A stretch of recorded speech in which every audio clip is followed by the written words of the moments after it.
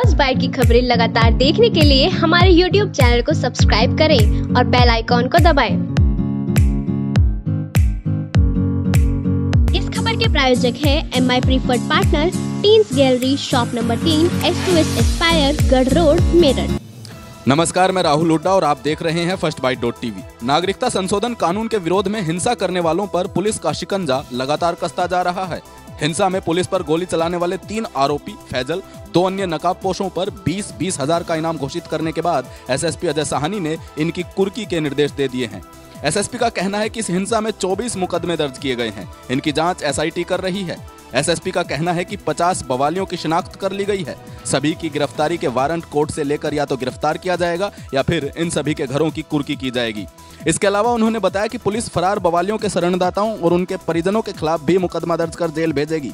इसके लिए सभी को नोटिस भी जारी किए गए हैं।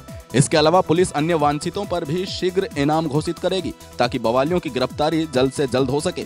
पुलिस अभी भी अन्य बवालियों की फ़ोटो व वीडियो फुटेज देखकर उनकी पहचान करने में जुट रही है। पहले ये जो पोस्टर जारी किए गए थे, उसमें से करीब 50 से ज़्यादा लोगों की पहचान की जा चुकी है। और इसके साथ ही तीन व्यक्ति ऐसे वीडियो फुटेज में मिले हैं, जो कि गोली चला रहे हैं सीधे पुलिस के ऊपर। इन तीन व्यक्तियों पर बीस बीस हज़ार रुपये का रिवार्ड घोषित किया गया है।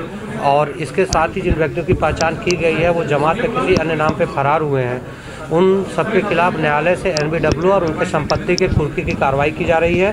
साथ ही उनके घर के वो परिजन जिनके फोटोग्राफ्स हमारे पास मौजूद हैं और दंगे में जो शामिल हैं, उनके घर के जो परिजन उन्हें छुपाने का प्रयास कर रहे हैं, उन्हें घरों के बीच में और उनको बाकी चीज़ें, उन पर भी विधिक कार्रवाई सुनिश्चित करा रहे हैं और इसमें पूर्ति की कार्रवाई भी करा रहे हैं। एक एफ़ आई आर वहाँ पर दर्ज हुआ है इसके अलावा भी इस प्रकरण में कुल 24 मुकदमे पंजीकृत किए गए हैं जिनकी एस आई टी विवेचना कर रही है। इस, पूरे प्रकरण में पी एफ़ आई और एस टी पी आई की जो भूमिका है वो बहुत ही नकारात्मक पाई गई। उनके चार सदस्यों को गिरफ़्तार करके जेल भेजा गया। दंगा भड़काने में पर्चे बांटने में बहुत सारी जगह उनकी भूमिका निकल कर आ रही है और उन सभी मामलों में नामजद करके उसमें विधिक कार्रवाई सुनिश्चित की जा रही है। इस खबर में बस इतना ही देखते रहिए फ़र्स्ट बाइट डॉट टीवी